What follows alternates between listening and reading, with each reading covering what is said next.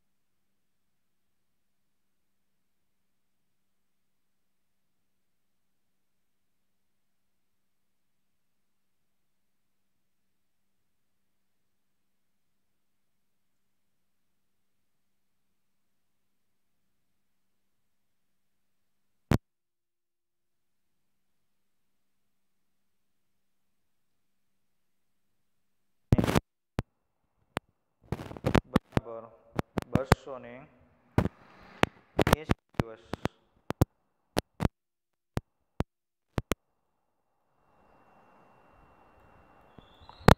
મનુષ્ય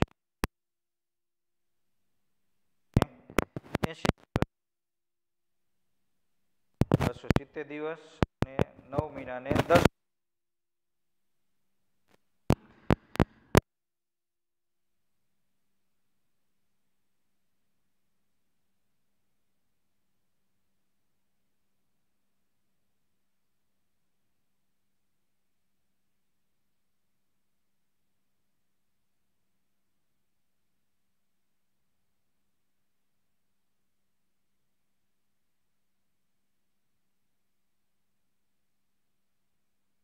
સાઠ દિવસનો ગર્ભાવસ્થાનો ગાળો છે.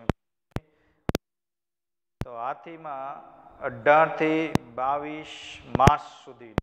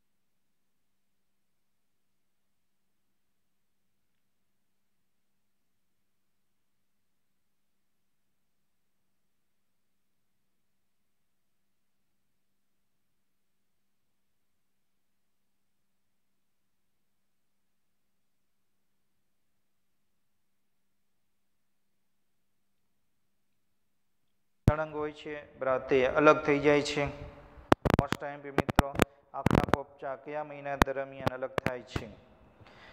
તો બીજા ત્રણ મહિના, એટલે કે છ મહિના બાદ અથવા ચોવીસ અઠવાડિયા બાદ પ્ર છ મહિના એટલે કેટલા દિવસો?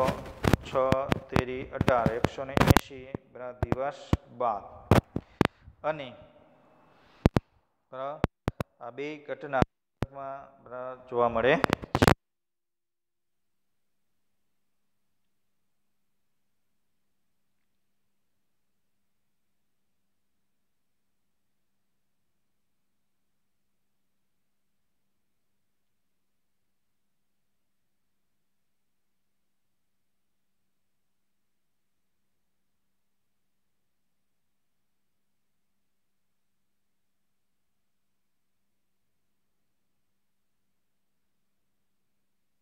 બને છે.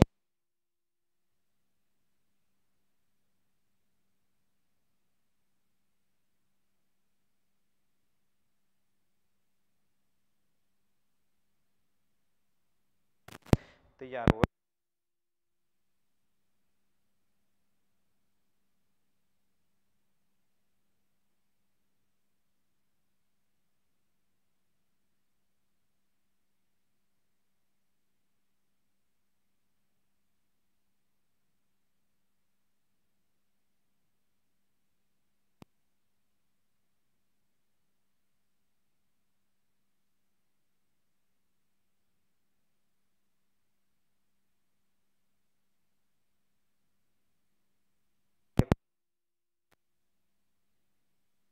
ખાસ જે ગર્ભ વિકાસની પ્રક્રિયા છે તે ખાસ યાદ રાખવી.